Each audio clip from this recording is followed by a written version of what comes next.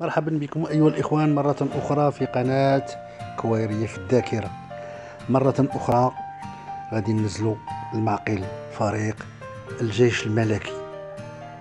فريق الجيش الملكي مدرسة النجوم واللاعبين الكبار منذ القدم.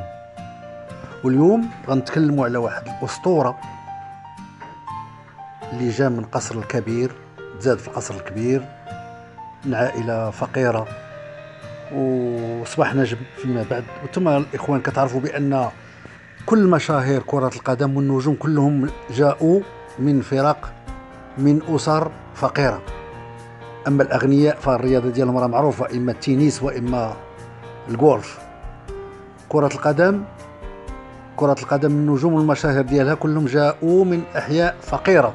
واليوم غنتكلموا على واحد نعطوا المثال ديال لاعب كبير اللي لعب في حارات القصر الكبير وهو عبد السلام الغريسي المهاجم الخطير صاحب الكروشيات. ويمكن لينا نصنفوا اللاعب عبد السلام الغريسي اللاعب العالمي الوحيد اللي خلق الكروشيات. راكم عارفين هذوك الكروشيات كيفاش دايرين ديال الغريسي أه، بخصوص يعني كان كيدي المدافعين الأفارقة بسهولة. ويحكى بأن عبد السلام الغريسي كان بغى يقلب واحد لاعب افريقي وداو السبيطار ما عرفت واش اش وقع عليه في دارو.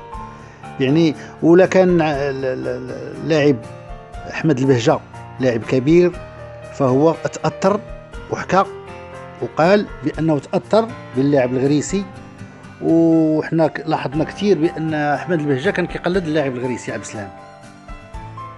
عبد السلام الغريسي اللي كما قلت جا من القصر الكبير من أسرة فقيرة وكان غادر الدراسة باكرا كان آه، طيلة النهار هو كيلعب في الكرة لأن آه، ربما عرف نفسه بأنه غادي يصبح نجم. وفعلا هانتوما كتشوفوا الصورة ديال عبد السلام الغريسي لأنه ملي كيشد الكرة اللاعب اللاعب مازال اللاعبين المغاربة كانوا حفظوا القلبات ديال الغريسي ولكن اللاعبين الأفارقة. يعني كيمشي شي كيدي شمال كيلاوطو كما كي هذيك آه، كما قلت عبد السلام الغريسي آه، الوحيد في العالم اللي خرج هذوك الكروشيات.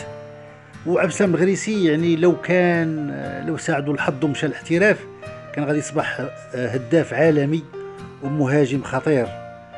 وهنايا كنشوفوا في الصورة عبد السلام الغريسي كيسلم على جلالة الملك المرحوم الحسن الثاني رحمه الله.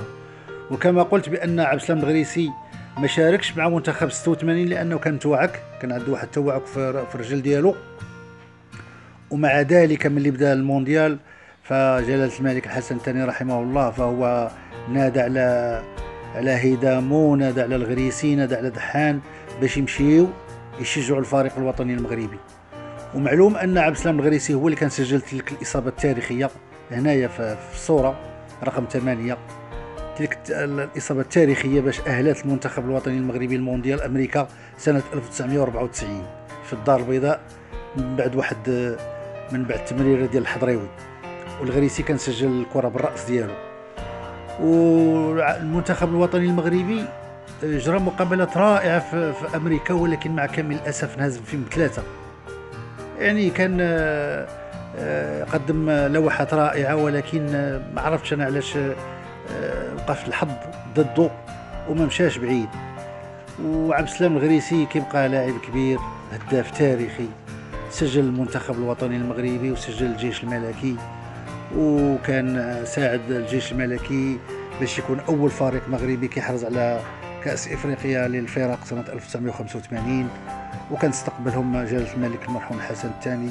رحمه الله في فرنسا ملي داو ملي جابوا الكأس من من من, من إفريقيا. فهم دازوا مباشرة لعند الحسن الثاني اللي كان تواجد في فرنسا.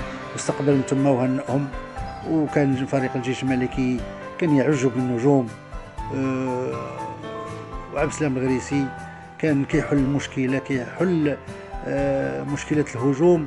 واخا ما يدير والو في المقابلة ولكن تجيه شي فرصة أو جوج كيماركي الإصابات. وهذا الشيء كان كيشهد به المدرب بليندا. كان كيقول لك الغريسي ما يدير والو في المقابلة نخليه.